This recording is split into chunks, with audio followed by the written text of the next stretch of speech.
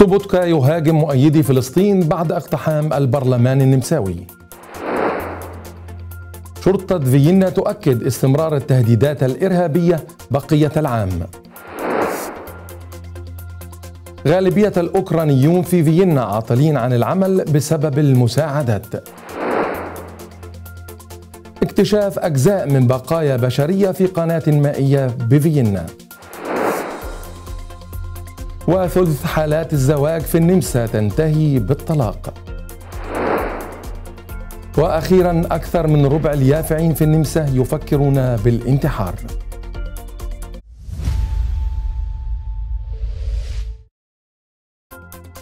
مشاهدينا الكرام من النمسا ميديا نحييكم ونقدم لحضراتكم نشرة الأخبار لهذا اليوم. أعرب رئيس البرلمان النمساوي فولفغانغ سوبوتكا عن انزعاجه بعد اقتحام مؤيدين للقضية الفلسطينية جلسة البرلمان أمس معتبرا ذلك استهتارا بالمؤسسة الديمقراطية.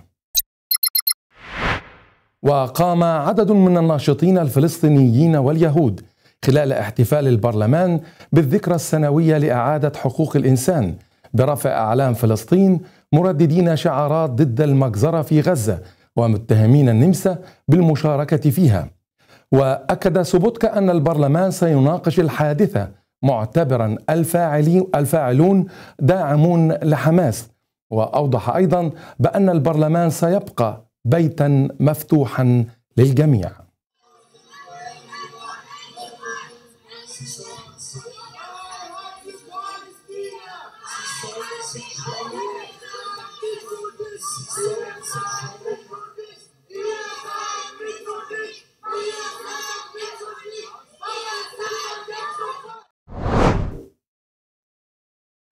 أعرب رئيس شرطة ولاية فيينا جيهارد بريشتل عن قلقه إزاء استمرار التهديدات الإرهابية خلال العام الحالي نظرا للوضع الصعب في الشرق الأوسط. وأكد بريشتل على ضرورة مراقبة التظاهرات المؤيدة لفلسطين من الاستخبارات والشرطة السياسية مشيرا إلى أهمية التوازن بين مكافحة الإرهاب وعدم التأثير السلبي على حياة المواطنين محذرا من ازدياد التحريض على الكراهية خلال هذه التظاهرات. وأكد على التزام الشرطة في فيينا بمحاربة أي عنصرية ضد اليهود وتعزيز التعاون مع الجالية. كشف تقرير لمكتب العمل أن حوالي سبعة ألاف نازح أوكراني يعملون من أصل ثلاثين ألف يعيشون في فيينا.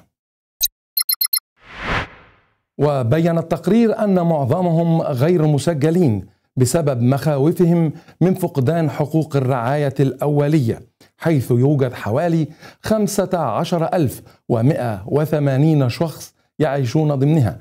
ويبين أيضا التقرير أن نحو ثلثهم في سن العمل ويعمل معظمهم بشكل رئيسي في الضيافة والتجارة ورغم تأهيلهم الأكاديمي المرتفع إلا أنهم يشغلون وظائف دون مستوى تأهيلهم بسبب صعوبات تعديل الشهادات.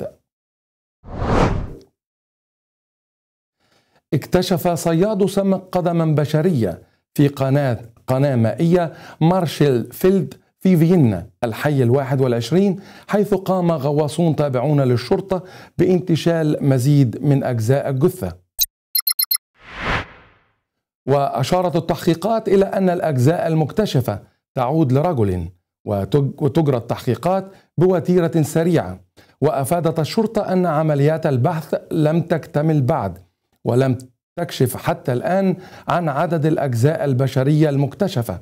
وأكدت أنها ستتحقق من التقارير حول الأشخاص المفقودين فيما تستمر التحقيقات سواء كان ذلك نتيجة انتحار أو حادث أو جريمة عنف. كشفت بيانات موقع Betrugstest تصنيف معدلات الطلاق في النمسا أن ثلثي الزيجات تنتهي بالطلاق. وتصدرت مدينة مودلينغ في النمسا السفلى القائمة بأعلى معدلات الطلاق تلاها شتاير ثم سانت بلتن فيما تعد بلودنز وكوفشتاين مناطق تحظى بفرص جيدة للزواج وبنسب طلاق متدنية. وأشارت البيانات أيضا إلى انخفاض معدل الطلاق عام 2022 مقارنة بالعام السابق مما يظهر اتجاها إيجابيا نحو الزواج مجددا. أظهرت دراسة لفحص الرفاهية العقلية للأطفال والشباب في المدارس النمساوية أن 27% من المشاركين قد فكروا بالانتحار.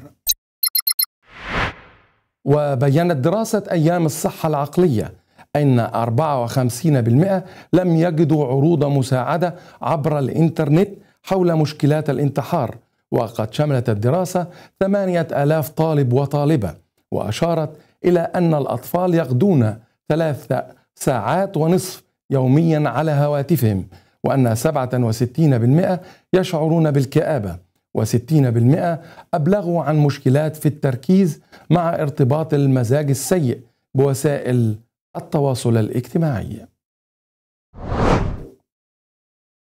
كانت هذه نشرتنا لهذا اليوم. لمزيد من التفاصيل لا تنسوا تحميل تطبيق إنفوجرات على هواتفكم. كنت معكم أنا ممدوح مكين. شكرا لحسن المتابعة أمسية سعيدة وإلى اللقاء.